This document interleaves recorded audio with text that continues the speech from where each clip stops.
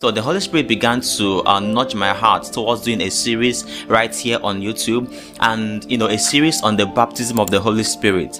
You know it's a series that is aimed at doing three things in our lives. Number one to give us knowledge.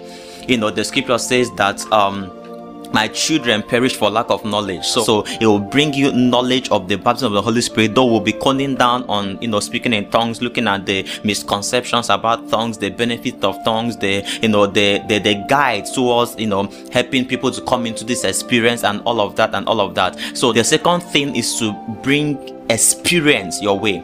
You know um the, the the the first is knowledge the second is experience. So by the end of this series if you've not yet encountered the holy ghost in this dimension be rest assured that you would experience the baptism of the holy spirit with the evidence of speaking in other tongues. The final aim is mastery. So at the end of this series you will be a you will be a master as it were in this subject matter. So you can you can give knowledge to others and you can bring others into the same experience. Do you understand? So, by the end of this series, we hope to achieve these three things as the Holy Ghost will be helping us. So, I want you to um is is a journey that I want you to take with us. It may last for like seven days or thereabouts. So we'll be having videos um, um, um on this channel. So kindly subscribe and click the notification bell so that you'll be notified whenever we post the video on this subject matter.